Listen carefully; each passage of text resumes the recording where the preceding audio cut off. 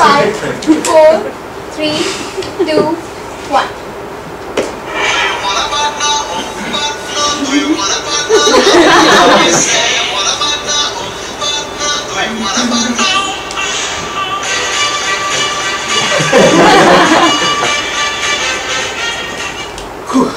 This is so many of you in this room right now, including our contest here, including our chief judge, including so many of you forever room guys in this room. Do you really want a partner? And if the answer is yes, then you are at the right place. Because we'll be your love gurus today. Toastmaster Ashish Thakuri is not just a five-time girlfriend holder. he's also made a girlfriend on his visit to temple and he's fondly called Garibo ka Shahid ka pura.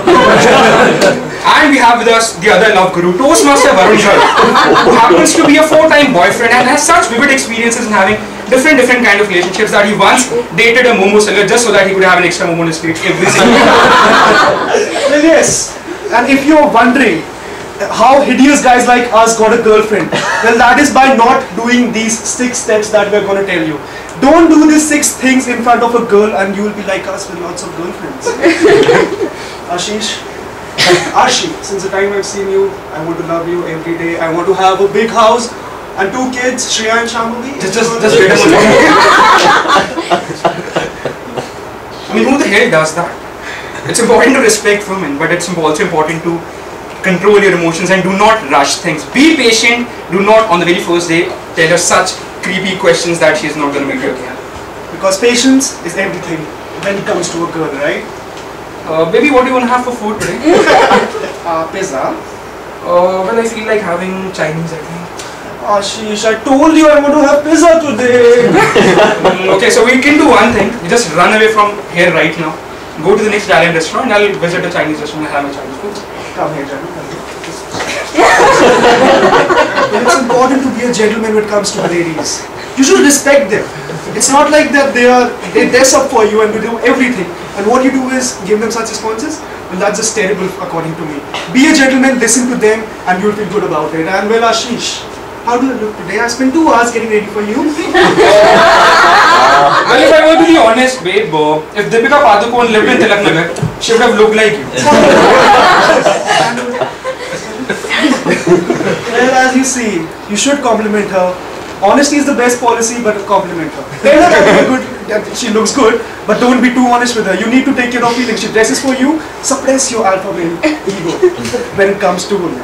And well, my Shona, my pumpkin, my babu, my golo, my wushu, wushu, my, baby, my butterfly, my pumpkin. Why? This is so 70s. It's important to behave sweetly to a woman, but who the hell gives such kind of cringe-worthy nicknames like Nanda, Nanni, Babu?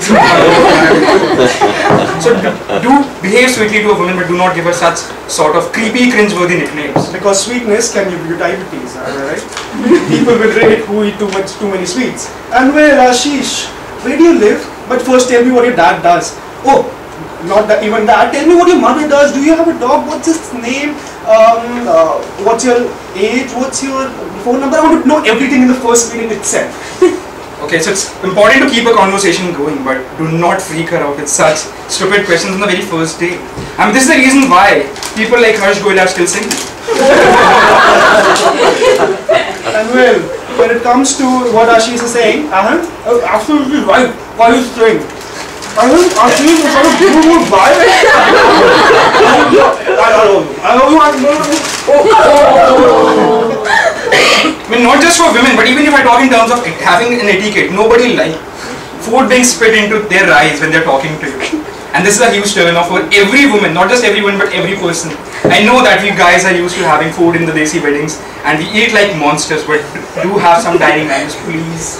And well, there will be a times when you behave absolutely perfectly, but the girl will still freak out and run away from you.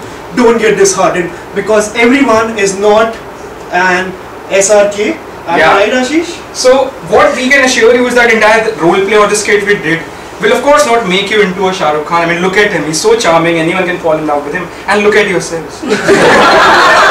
this entire play won't make you an SRK, but But what it surely won't do is not turn you to like Shrey Saxena. you won't be hiding in for the rest of your life, looking for solace, looking for love, and you, you like a monster friends. Hoping to see you next time with a partner, Ashish and Varun. Signing off. Signing off.